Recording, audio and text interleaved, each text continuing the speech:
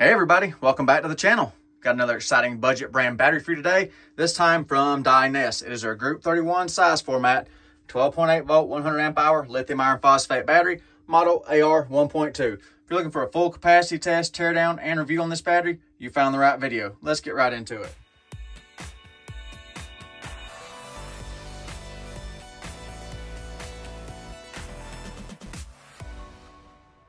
So the Dyness battery has completed charging. So now I'll remove it from the charger and I'll hook it to the capacitor rig and see what this thing's made of. Right, got the Dyness connected to the capacitor rig. Same thing I always use. Got the energy meter zeroed out. Nothing's been turned on yet. Now I'll turn on the inverter. And here goes the load. Same load. I always use that little charger right there. Charging back to the 12 volt rig. So let everything stabilize out and I'll get you a final reading. All right, 36 amps, 478 watts load on the Dyness battery. So we'll let it run and see how much capacity this thing has.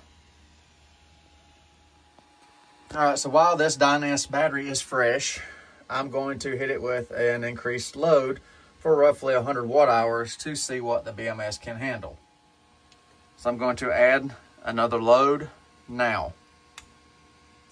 Here comes the additional load. It's ramping up. It's another charger.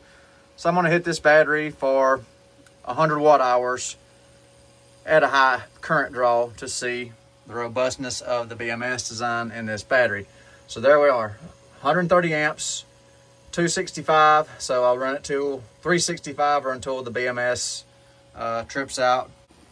All right, coming up on the 100 watt hour mark, there we go. So I'm gonna remove the additional load back to the original charger load. It held the 130 amps for that period of time, no problem at all. So let it run like this, the rest of the capacity test. So make note, if I lose an amp hour or two, that would burn it off its heat during that hard pull.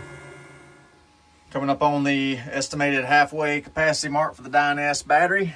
Right there, just rolled over 640 watt hours through the battery, still at 12.84 volts about to reach the advertised capacity on the Dyness battery.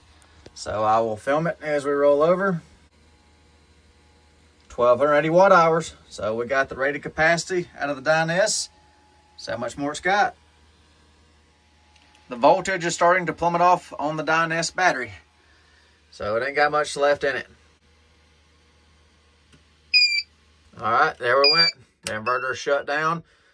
1300 watt hours out of the Dyness battery. So about 101 and a half amp hours.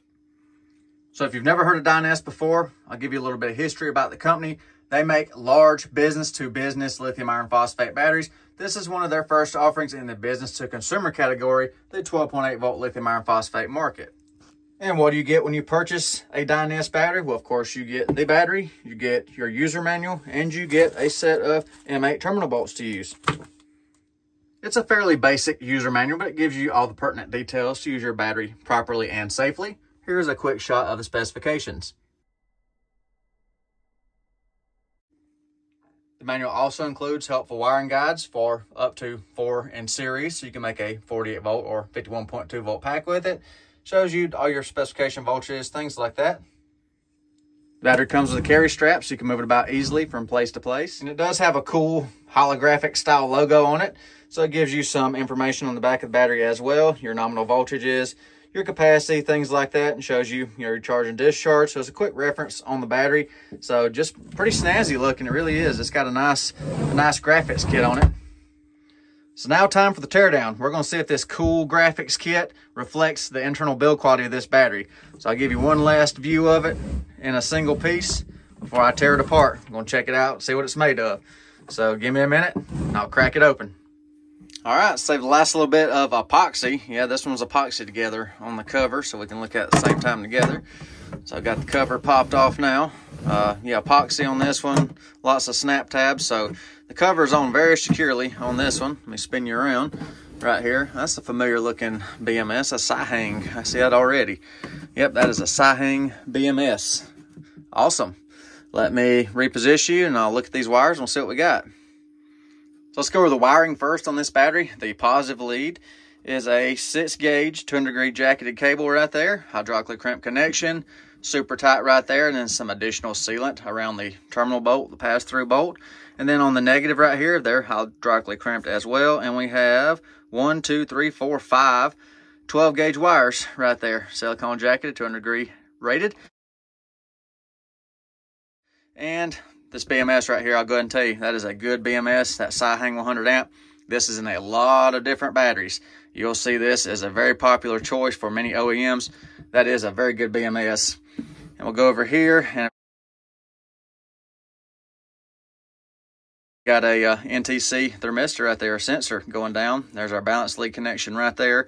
So they're not indicating through their advertisements, Dyness is not indicating low temp protection, but this Sihang with this sensor, normally this board is programmed with a low temp cutoff. So we'll have to see once they get further into the battery. So that's good to see. So we got epoxy board right here sitting on top of the cells. Our battery leads from the BMS go down through this opening right here. Everything's siliconed in place with sealant. So nothing's gonna move. Plenty of space and everything. No wires were pinched or anything like that. So let me get this broken down. We'll go down another layer. And here's the numbers, part numbers and model numbers off the Sihang board right there. Another thing I wanted to make note of, look at the nice solder connections for the leads. You know, that's that's pretty nice right there. That's nice and clean. Here is the cell pack assembly out of its case. See right there, I got it out in one piece. It was glued down into the bottom right there. You see we've got tie band compression around the cells right there, and it's got metal looks like aluminum guards right here around the corners. Uh, usually you see the full full length piece of you know the fiber or the plastic around the corners. They just put uh, metal pieces right there underneath the tie band. But the cells look to be in pretty good condition. I'll give you the QR code in just a second. So you can see right there how it's built.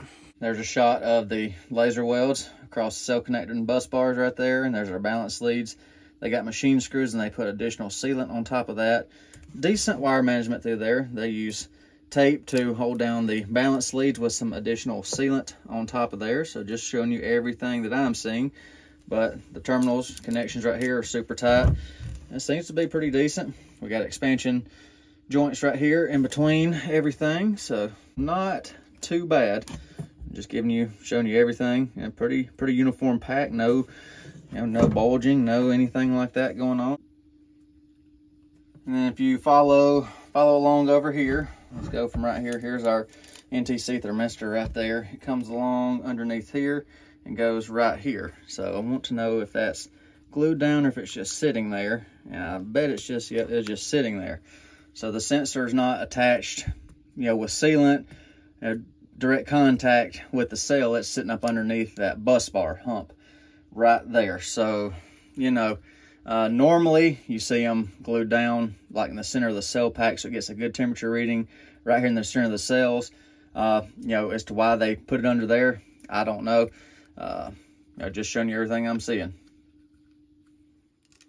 So I went ahead while I'm on this side of the battery, I went and cut this sealant loose. They had the glue right there, the sealant up against the top, so it would have stayed underneath there, but uh, just showing you this right here. Our little, got some tape right here. The sealant was on top of the tape. So that, you know, that kind of pulled loose a little, little bit easy, but, you know, nothing, you know, it wouldn't have come loose unless in here messing with it like I am. And there is a shot of one of the QR codes on the cells right there. So I will look into that and put it through a scanner and see if we come up with information about these cells. And then here's another one on one of the other cells. So just, just giving you some to, to reference if you like to look them up, but I'm gonna look them up for you. So these cells do have a valid QR code that comes up in the database. They are made by Great Power. I've seen some other batteries with these cells and they seem to do well. So, you know, giving you all the information I can find. No, it's going to be kind of hard to see, but if you look right down there towards the center of the BMS, if you're looking down down that direction in between the heat sink and the actual board, you'll see those two wire leads down there. That is a high temp thermal switch on the BMS, which all the Sihangs have that. So just let you know that's there as well. All right, I'm just check the cells. I've been doing this on all these battery tests since that one battery uh, a while back that was all out of whack. So this one's been partially recharged from the capacity test. So Get the total pack voltage for you right here, 13.19. And just want to check and see, you know, how the cells are looking after partial charge. 3.296. 3.296. 3.296. 3.296. Wow. Yeah, that's nice to see. All right, so I've got the power supply connected to the battery. Going to check for high and low temp. So I'm going to apply heat to the NTC sensor, and if we have a functioning high temp cutoff, you'll see the current right here on the power supply drop to zero. So let me apply some heat.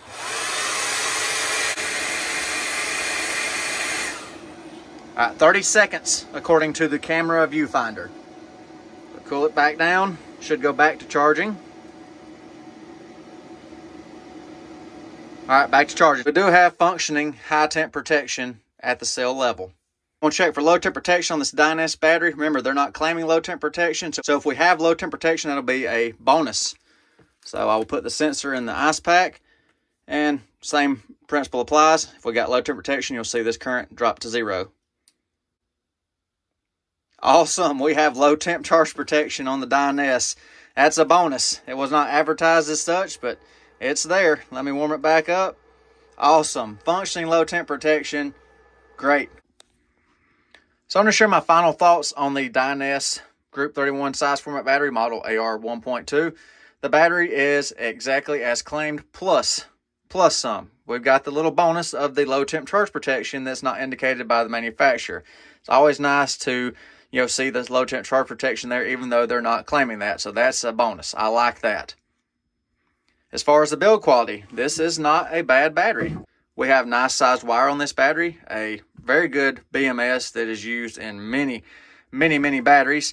Uh, pretty good construction. The only thing I would like to see different on this battery uh, would be the full size, you know, corner compression right here with the plastic plastic guards like you've seen in some of the other videos you know, seeing just the little metal strip here, you know, I'm worried if it's moved around a lot or, you know, like a mobile application or something, you know, that could rub through there over time. I prefer the full length guard down through here. And at time of filming, this Dyness battery is only $149.99. So, you know, is that a good deal to you? So if you're interested in looking more into this battery, I'll put a convenient link in the description so you can look into it further.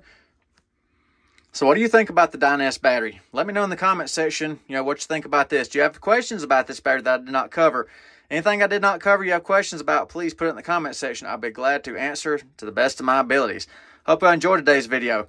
Thank you for watching. Hope you have a nice day. Take care. Be safe. I'll see you on the next one. And special thanks to Dyness Battery for providing the sample for today's video so I could show everybody how your battery's made. Thank you.